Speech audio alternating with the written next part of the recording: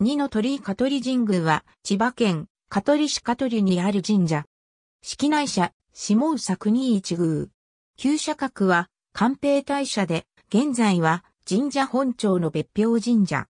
関東地方を中心として全国にある香取神社の総本社。茨城県鹿島市の鹿島神宮、茨城県上須市の生住家神社とともに、東国三社の一社。また、宮中の司法杯で妖拝される一社である。千葉県北東部、利根川下流右岸の亀甲山と称される、丘陵上に鎮座する。日本神話で、大国主の国譲りの際に活躍する共通主神を祭神とすることで知られる、全国でも有数の古社である。古くは、朝廷から蝦夷に対する平定神として、また、藤原氏から氏神の一社として崇敬された。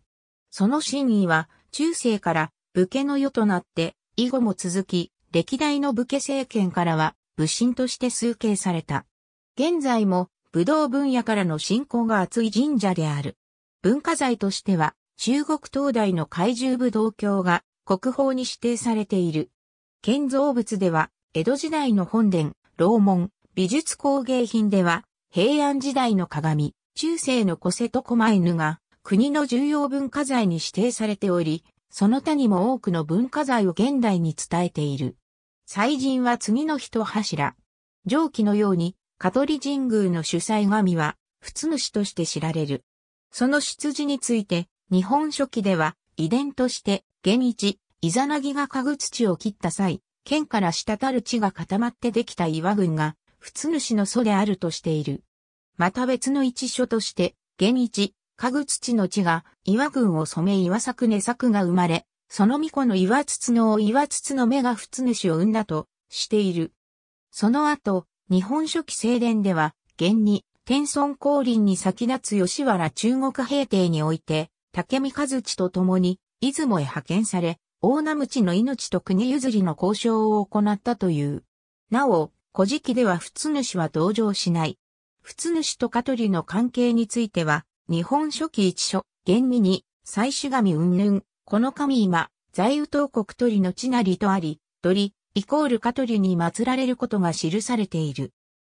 また、古語周囲成立、原産で、共通出身云々、今下宇佐国香取神これや、演技式完成初秋の春日祭りのりと原読んでも、カトリ座、イハヒシュ名と記されている。祭人の性格としては、仏主が国土平定に活躍したという初期の説話から、武神、軍神とみなされている。名称の仏についても、危機に見える真剣、仏の御霊の名と同様、刀剣の鋭い様を表した言葉であると言われる。軍神の認識を表すものとしては、両人秘書の関より東の軍神、鹿島、香取、諏訪宮、言語という歌が知られる。一方、舵取りイコール舵取りという古名から、古くは高校を司る神として祀られたという見方もある。その他、仏主と伊波比主という異名称の扱いや原始祭氏族には不明な点が多く、香取神宮の創始も含めて小説がある。鹿島神宮日立国一宮。香取神宮とは深い関係にあり、古来並び称される。香取神宮は日立国一宮の鹿島神宮と古来深い関係にあり、鹿島、香取と並び称される一体の存在にある。鹿島、香取両神宮とも古くより朝廷からの崇敬の深い神社である。その真意の背景には、両神宮が軍神として信仰されたことにある。古代の関東東部には、現在の霞ヶ浦、印馬沼、手賀沼を含む一帯に、香取海という内海が広がっており、両神宮はその入り口を訳する地政学的重要地に鎮座する。この香取海は、大和政権による蝦夷進出の輸送基地として機能したとみられており、両神宮はその拠点とされ、両神宮の分霊は、朝廷の脅しを示す神として東北沿岸部の各地で祀られた。朝廷からの重要視を示すものとしては、次に示すような事例が挙げられる。また、藤原氏からの数形も強く、藤原氏の氏社として創建された奈良の春日大社では、鹿島神が第一殿、香取神が第二殿に祀られ、藤原氏の祖神たる雨の子屋根の命よりも上位に位置づけられた。中世に武家の世に入ってからも武神を祀る両神宮は武家から信仰された。現代でも武術方面から信仰は強く、道場には鹿島大明神、香取大明神と書かれた二軸の掛け軸がタイで掲げられることが多い。社殿では初代神武天皇18年の創建と伝える。黎明期に関しては明らかでないが、古くは、日立国風土原八に、すでに、香取上子の社として文祠の記載が見え、それ以前の鎮座は確実とされる。また、古代に、香取神宮は、鹿島神宮とともに、大和朝廷による東国支配の拠点として機能したとされるため、朝廷が拠点として、両者を祀ったのが宗師と見る説がある。これに対して、その前から原型となる祭祀が存在したとする説もある。春日大社藤原氏の氏社。その創建に際して、共通主神は香取から春日へ勘定され、その第二殿に祀られた。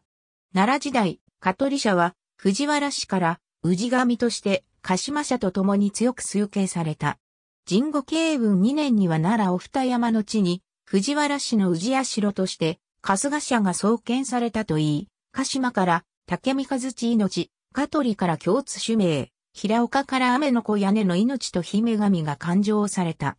その後も藤原氏との関係は深く、法紀8年、原旧藤原義継の病の際には、氏神として、西四以上の深海に除されている。平安時代以降の深海としては、上和3年、元12、西2、上和6年、元1121への少女の記事があり、元領6年、元12には、小1位、君一等と見える。延長5年成立の演技式新名帳には、下宇佐国香取郡に、香取神宮名神大月寺新滑と記載されており、式内社に列し、月次祭、新滑祭りでは平白に預かっていた。なお、同庁で当時、神宮の称号で記されたのは、伊勢神宮、鹿島神宮、香取神宮の三社のみであった。また、下宇佐国では、一宮に位置づけられ、下宇佐国内からも崇敬されたという。中世、武家の世となってからも、武神として真意は維持されており、源頼朝、足利尊氏の寄進に見られるように武将からも信仰された。一方で、千葉氏をはじめとする武家による診療審判もたびたび行われていた。また、この時期には、日立、下宇佐両国の海夫、関を支配し、カトリ会を掌握して多くの収入を得ていた。千葉氏の滅亡後、代わって関東に入った徳川家康のもと、天正19年に戦国が主因地として与えられた。その後開かれた江戸幕府からも数形を受け、慶長12年に大造営、元禄13年に再度造営が行われた。現在の本殿、楼門、旧拝殿は、この元禄期の造営によるものである。明治4年5月14日、近代社格制度において、官兵大社に列し、昭和17年に直裁者に定められた。戦後は神社本庁の別表神社に列している。植生、編集神宮の植生について、延長5年成立の演技式、元14、元15、元16では、宮司1人、ネギ1人、物意味2人の他学人6人、舞妓8人を記し、宮司は18位に準じるとしている。平安時代末期から中世にかけて見える新館は、大ネギ、大宮司、添えの法理、物申しはじめ、行事ネギ、国行事、権ネギ、田所、安主、文藩士、大法理、ケビ石氏、宮助、六次代、総兼業、権之助、聖ケビ石、高倉木大など百数十以上に上っている。明治以前の神宮祭祀の中心神官は、両社部、六官のほか、総兼業、権之助、行事ネギ、六次第、田所、安主、高倉木大、聖家 B 氏、県家 B 氏、文藩氏などであった。祭祀士族、編集神宮の祭祀士族は、古くは、香取連一族であったと言われる。香取大宮司系図によれば、普通主の子のないますます命がその始祖で、離脱天皇年間に、子孫の豊かさ等が、カトリ連を称し、文武天皇年間からカトリ社を奉祭し始めたという。このように、カトリ氏は、仏主の神末を称する一族であったが、その後同系図によれば、大中富氏から大中富清徹が、カトリ連500頭の養子に入って、カトリ大宮司を清徹の子の秋夫が、カトリオネギを担ったという。以後、平安時代末期までは大宮司、大ネギとも大中富氏が独占した。ただし、香取神宮は藤原氏の氏神であったため、その部人は中央の藤原氏に干渉されていた。関係略系図系図は左から右。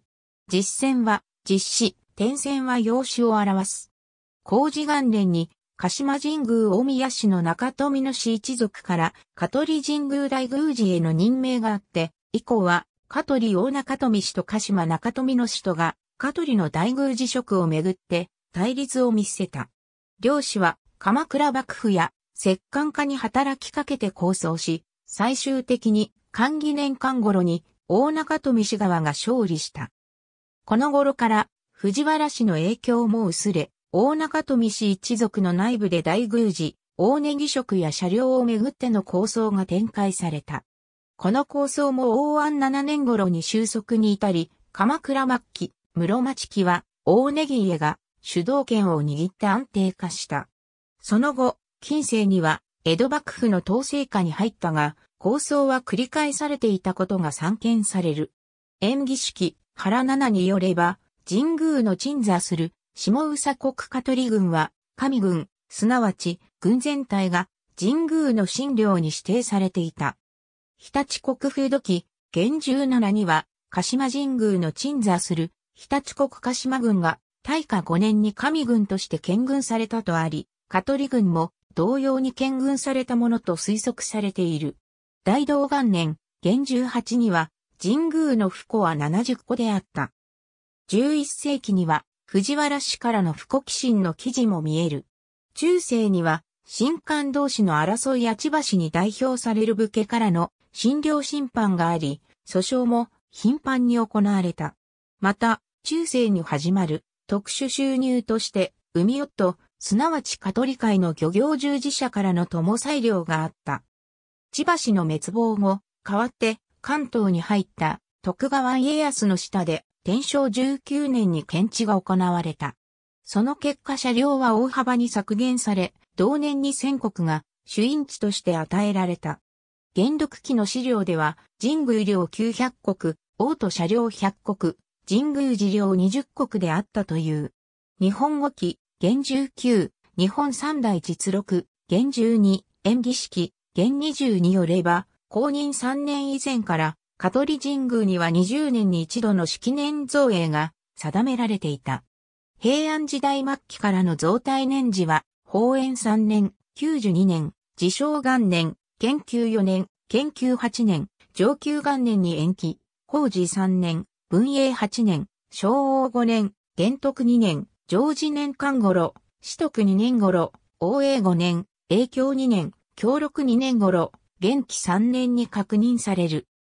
このほか、昭和5年、応永31年、文明15年、明王元年にも造営があったとする資料もある。このように、鎌倉時代にはほぼ20年に一度の増体が守られているが、南北朝時代以降は、それが困難となっていった様子がわかり、その時期は資料もあまり残っていない。江戸時代には、幕府によって、慶長12年に大造営が行われた。元禄13年に再度造営が行われ、この時の本殿はじめ主要社殿が現在に伝わっている。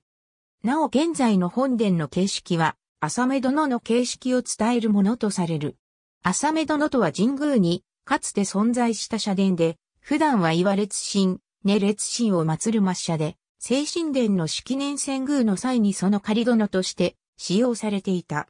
その間には、岩列神、根列神の安置のために仮浅め殿も設定されたという。聖神殿は、鎌倉時代の元徳2年造営のものを最後として作られなくなったと見られており、以後の本殿はこの浅め殿の形式を継承したと考えられている。上日の通り、香取神宮において浅目殿は重要な役割を果たしていたが、その存在が確認されるのは中世までであり、近世になると廃絶した可能性が高いという指摘がある。浅目殿の形式は本殿のものの省略版であり、省略に伴い格式も低下していたものだが、香取神宮においては、元徳2年以後、精神殿の造営が困難である状況が長期間継続し、その間、浅目殿を精神殿の代用とせざるを得なかったと推定され、精神殿復旧の見込みがない中で、精神殿の形式が浅目殿に部分的に導入された可能性も指摘される。つまり、浅目殿の格式を高めるような形式変更が確認されており、こうした流れが現在の本殿の形式に影響していったとみられる。鎌倉時代における精神殿に関しては、古文書から、桁行き5件、播磨2件の切妻作り平入りの未社で、背面一軒通りに日差しを有する建物と推定されており、式年造体の存在から、この形式は平安時代前期に遡るものであろうと推測されている。神宮の鎮座する丘は、中央が低く周囲が高いという形状から、亀甲山と称されている。神宮境内は、新域とされて付け数の自然が残されているため、多数の杉の巨木や犬巻もみ黒松の大木が生育している。高木層のみでなくあ高木層、低木層、臨床にも多数の草木が生育しており、杉の老齢林としては、県内でも有数なものであるとして、千葉県指定天然記念物に指定されている。本殿北東方より、向かって左奥は拝殿、楼門祈祷殿現在の主な社殿は、江戸時代の元禄13年、江戸幕府五代将軍の徳川綱吉の命により造営されたものである。この時に本殿、拝殿、楼門が整えられたが、内拝殿は昭和11年から昭和15年の大修築に伴って改築がなされ、現在は祈祷殿として使用されている。この昭和の大修築では、平殿、新鮮書も造営された。主要社殿の形式は、大修築前後とも、本殿、平殿、拝殿が連なった権現造りである。上記のうち本殿、楼門は、国の重要文化財に、旧拝殿は、千葉県指定文化財に指定されており、現拝殿は、国の登録有形文化財に登録されている。本殿は、元禄13年の造営。三軒社流れ作り、日和田武器で難面している。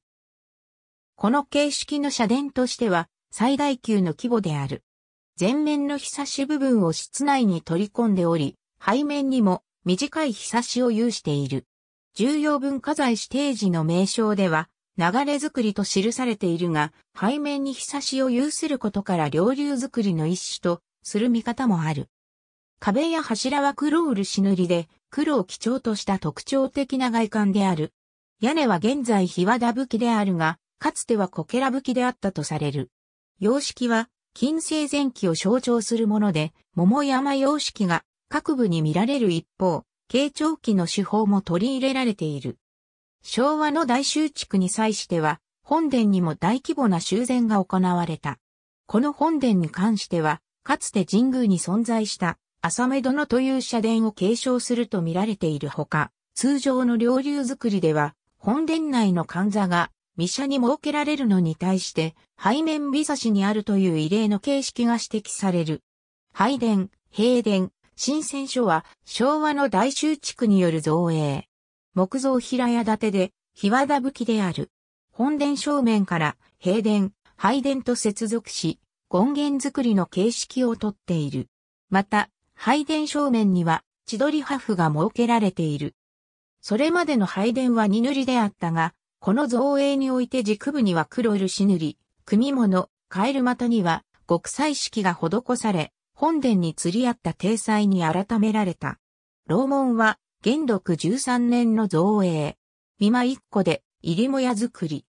屋根は現在銅板武器であるが、当初は空気であった。純和用の様式であり、壁や柱は二塗りである。楼門内にある随心像は俗に左大臣、右大臣と称されるが、正面向かって右像は竹内宿根、左像は藤原鎌足と伝えられている。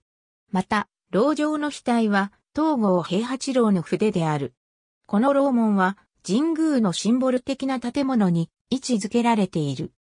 祈祷殿は元禄13年の造営。拝殿として造営、使用されていたが、昭和の大修築に伴って南東に移築され、昭和59年にさらに西へ1.5メートルほど移動された。間口5軒、奥行き3軒で、入りもや作りである。屋根は現在銅板武器であるが、当初は区付きで昭和40年に改められた。壁や柱は二塗りである。拝殿としては比較的大規模なもので、彫刻等の随所に造営時の様式が示されている。上記のほか、神子は明治42年の造営で木造のあぜ蔵作り。新徳館は昭和36年の造営で旧大宮寺屋敷跡に立つ。その門は旧大宮寺邸の表門の転用で天明元年の造営、かやぶき。また、北東に立つ幸運閣は明治29年の造営。要石の祠要石の形状要石は、境内西方に位置する霊石。形状は凸型。かつて地震は地中に住む大ナマズが起こすものと考えられていた。要石はその大ナマズを押さえつける地震からの守り神として現在にも伝わっている。鹿島、香取の要石は大ナマズの頭と尾を押さえる杭と言われ、見た目は小さいが地中部分は大きく決して抜くことはできないと言い伝えられている。上京元年に徳川光国が神宮を参拝した際、要石の周りを掘らせたが根元には届かなかったという。なお、鹿島神宮には大型の要石があり、同様の説話が伝えられる。三の鳥居神宮へは参道が二つあり、それぞれに鳥居が設けられている。表参道は、旧沢原市中心部から続く参道で、現在の県道55号にあたる。県道56号との交差点近くに1の鳥居が立っている。1の鳥居から2の鳥居までは道なりに約 1.6km。もう一つの参道は、香取出宮に始まる。この参道の起点は、利根川岸で川に向かって浜鳥居が立っている。鳥居は、祭神がここから上陸したことに由来すると伝えられ、この鳥居からの道が、かつての表参道であった。昭吉治安3年の上、元21によれば、鹿島市が、鹿島神宮を出て、都会三香取宮とあり、香取神宮へは海を渡っての砲兵が、定例であったとされる。現在も、式年新交祭では、ここからみこしを乗せた、魚座船が出発する。また鳥居の近くには、王子の周雲繁栄の名残である常夜島や、与謝の秋子海がある。二の鳥居までは道なりに約 2.5km。途中には、境外、節末社の大師男、神社、い男神社、沖宮が鎮座する。また、参道の終点の神宮側では、現在は二の鳥居から楼門へと参道が続くが、古くは楼門前を直角に曲がり西の奥宮前へと続く道が表参道であった。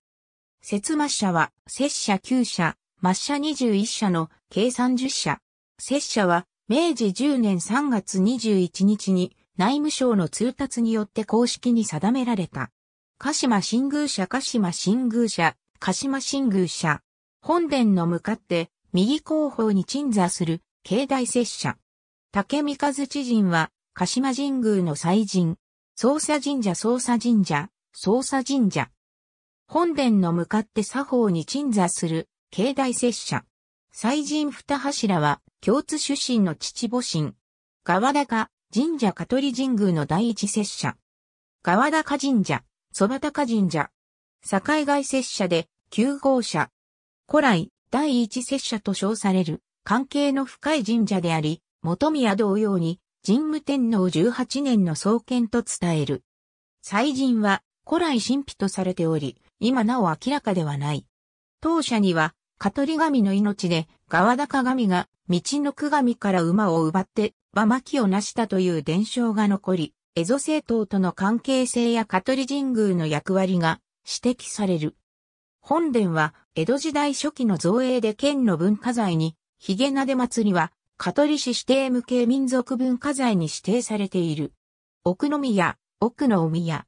境内西方に鎮座する、境外拙者。社殿は昭和48年の伊勢神宮遷宮の際の古材を使用している。また献身者、また未神社。境外拙者。祭神の天皇会の地は、共通出身のお子神で、香取氏の祖神とされる。そのため、若巫女神社とも言う。沼井命は、鹿島神のお子神、天皇宿も命は雨の子屋根の命のお子神。本殿右横には、古墳の石室が露出して残っており、また、未古墳として、香取市指定史跡に指定されている。おし男、神社、お塩神社。東の宮友。伊男神社の東方坊に鎮座する、境外拙者。古くはここで、名越の払いを行ったという。当社では、明治17年まで白状祭として、道の区で捉えた馬の蘇生を白状に記すという祭りが行われていたといい、川高神社の伝承同様、蝦夷追悼との関係が示唆される。伊男神社、守尾神社、西宮友、押尾男神社の西方坊に鎮座する、境外拙者。大戸神社、大戸神社。境外拙者で、旧権者。慶光天皇40年の創建と伝える。羅竜王面、ナソリ面三面、和教三面が、千葉県指定有形文化財に指定されている。反田神社、茅田神社。境外拙者で、旧尊者。元宮同様に、神武天皇18年の創建と伝えるほか、鎌倉時代の古文書には、反田悪王子社の名が見える。境内には、諸国一宮を祀った石祠が並ぶ。本殿は、江戸時代の造営で、千葉県指定有形文化財に指定されている。境内社境外社次の5社は、現在は、神宮と、節末社の関係にないが、古文書にその旨が見える。式年新交祭式年大祭として、式年新交祭が12年に一度の馬年に行われる。境内前までの新交祭は毎年4月15日に行われているが、式年大祭では4月15日16日の両日に大規模に行われる。古くは軍神祭、軍人祭とも称された。この祭りは共通出身による東国平定の様子を模したものと言われる。元は、式年遷宮大祭の名で、20年に一度の式年造営に伴って行われたという。しかしながら、式年造営と同じく応仁の乱の頃に衰え、永禄11年を最後として明治まで耐えていた。その後、明治8年に復興され毎年執行されていたが、明治15年以降は馬年ごとの執行と定められ、現在に至っている。祭事の流れは次の通り、年間祭事一覧をお田植え祭りお田植え祭、お田植え祭。4月第1土曜、日曜に行われる。1日目は、高田式、2日目には、田植え式が行われ、いずれも大祭。神宮の最多で田植えを行い、五穀豊穣を祈願する祭り。資料では、明徳2年にはすでに見え、祭りは日本三大御田植え祭りにも数えられている。詳しくは、香取神宮お田植え祭り参照。例祭、新交祭4月14日15日に行われる。いずれも大祭。例祭は神宮における祭りの中でも最も重要な祭り。神宮は直祭者の一つであるため、6年に一度には直使の参考を受ける。例祭の翌日には新交祭が執行され、平安時代さながらの衣装を着た新行列が進み、駐車場での中連祭が行われる。大共祭、大共祭。1月30日に行われる。中祭り。共津出身、竹見和知人が国土を平定した際に神々をいたわったことに基づくという祭り。日没後に行われ、数々の珍しい新鮮が神前に献ぜられる。団子祭、団気祭。12月7日に行われる。中祭り。八国ハット団子祭とも言われる、新国で作った団子を奉納する北条感謝の祭り。和団子八十余りが、神前に献じられる。幹の奉納がないため、特に大共祭の接待にあたった姫神を慰労するための祭りとも言われる。祭典後、団子は参拝者に配られる。塩釜神社、香取病営神の分布塩釜神社道の区国一宮。エンドロ大神に竹見和内、共通狩猟神を合わせ祀る。香取神宮は東国開拓の拠点であったことから、その病営神すなわちお子神が各地に形成された。日立国風土記、原八にはすでに、行方軍に文祠の記載が見える。演技式新名帳では、道の区国上に、香取を関する神社として、次の2社の記載がある。上記の香取病営神同様、鹿島神宮でも鹿島病営神が、道の区国に展開しており、演技式新名帳には8社が見える。このことから、大和朝廷の勢力が海岸沿いに北進する際に、鹿島神、香取神の真意を仰いだものと考えられている。合わせて、陸奥国一宮の塩釜神社において、竹見和内、京津狩猟神が祀られていることも、その様子を表すものとして指摘される。なお、初期段階では、その後、上記の香取病営神が二社のみながら、共に栗原郡に祀られており、押鹿郡を最北端とする鹿島を飛び越して北に鎮座する。これに関して、栗原郡の統治が可能になった時期が旧世紀と見られる点や、公認3年から道の区国鎮守府将軍として、物の部操作し一族が見える点、上和6年に香取神の深海が、鹿島神に追いつく点、またその記事で、香取、鹿島の順序で記載されている点から、物の部操作しの活躍に伴う鹿島、香取神の新意逆転を指摘する説がある。その他、旧下宇佐国西部の利根川、江戸川沿い低湿地においては、10世紀以後に開拓されるにあたって香取神が、産砂神として勘定された関係で、多くの分祠が分布している。また、同じく共通出身を祀る上の国一宮の和幸宮、完全神社との関連も指摘される。